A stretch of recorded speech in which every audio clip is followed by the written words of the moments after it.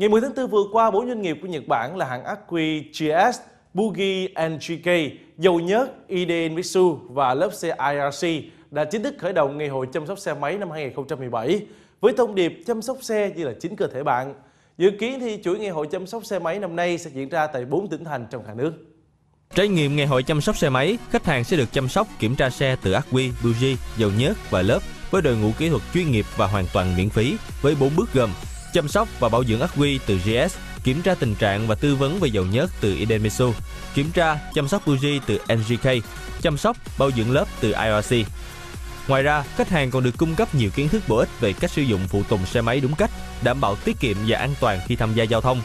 thông qua các không gian trò chơi tại ngày hội. Ngày hội chăm sóc xe máy năm nay sẽ được tổ chức tại 4 tỉnh thành trong cả nước. Điểm đến đầu tiên tại nhà thi đấu Long Xuyên, tỉnh An Giang từ ngày 15 đến ngày 16 tháng 4. Sau đó, chương trình sẽ tiếp tục được tổ chức tại Nha Trang vào tháng 6, Huế vào tháng 8 và Nam Định vào tháng 11 năm nay. Theo thông tin từ ban tổ chức, chương trình được tổ chức nhằm mang lại những hoạt động chăm sóc và kiến thức bổ ích cho người sử dụng xe máy, góp phần xây dựng nền giao thông an toàn và văn minh tại Việt Nam.